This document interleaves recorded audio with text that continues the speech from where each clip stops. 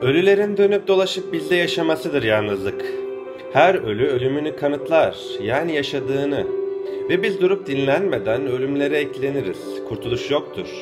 Yazılmamış kitaplardır ölüler ve zamanın rafına kaldırılmış gümüşlerdir. Onlar ki bir yanlarını bırakırken bize bir yanımızı götürmüşlerdir. Bu yüzden alışverişimiz hiç eksilmez onlarla. Uçsuz bucaksız bir çölde ya da dağların ardındaki bir dağ başında kendi kendimizle konuşuyorken bile onlarla konuşuyoruzdur. Dedikleridir dediklerimizin birazı, biraz onlara diyeceklerimiz. Hiç kuşkusuz dünya ölülerle ağırdır ve yeryüzü onlarla kalabalık.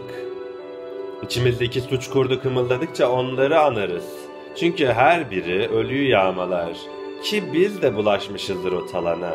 Ayakta kalma duygumuzu do- doyurmak için bir atmaca olmuşuzdur ölüye. Ay ışığında canlı canlı parlayan bir saltanat kurmuşuzdur mermerden. Taşına yaldızlı harfler döşemişizdir ince ince. Ardından çiçek konvoyları yürümüştür renkleri tekrarlayarak. Ardından gül şerbetleri, ilahiler. Sonra cennet yeşili hüzünlerin çekip çevirdiği törenler. Üstelik ölümü biraz daha gerçek kılmak için gazetelere ilan vermişizdir. Çünkü ölümler işitildiği an gerçekleşir ve işitilen kadardır. Gene de her şey boşunadır. Biz öldürdükçe yaşar ölüler. Upuzun gölgeleriyle ölüm insanı biraz daha büyütür, içimizde gezinirler. Kımıltılarımıza dokunurlar hatta bakışlarımıza bulaşırlar.